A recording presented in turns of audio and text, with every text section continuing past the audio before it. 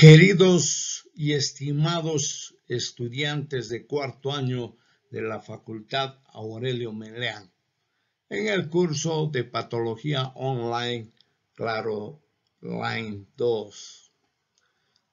Ah, hoy vamos a ver el foro debate número 7 y el autor eh, del video es Murray Saka.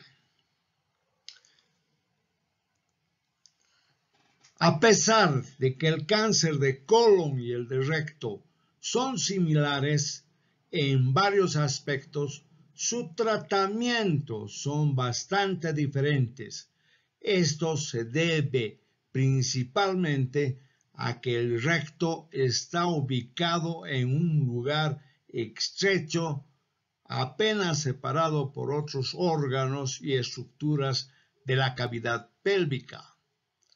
Por,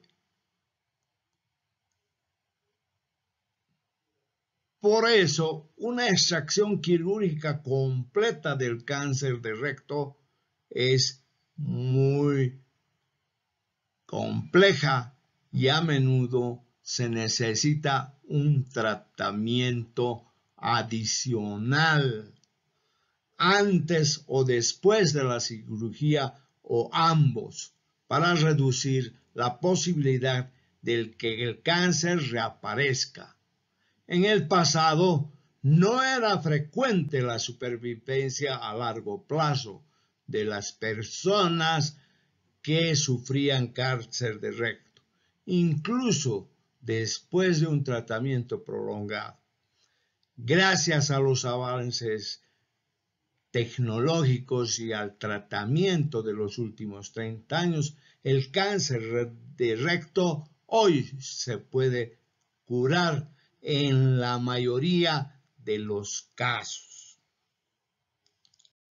Vamos a presentar la historia clínica o el resumen de la historia clínica, que es un paciente de sexo femenino de 57 años a quien durante cinco años había estado con heces con residuos de líquido rosado, a pesar de haber, de haber estado en control médico en una institución pública, nunca le practicaron una colostomía.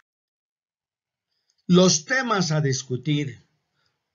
Los síntomas más frecuentes del cáncer de recto las causas de cáncer del recto, las mutaciones genéticas heredadas que aumentan el riesgo de contraer el cáncer de colon, los factores de riesgo, la prevención, el tratamiento quirúrgico y su seguimiento.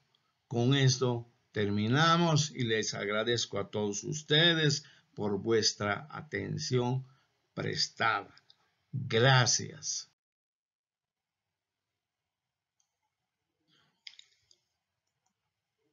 Vamos a ver la colostomía y en el video se muestra un adenocarcinoma rectal y en el fondo una melanosis cólica en la parte distal del ano del tumor que se observa una área de melanosis como la están observando.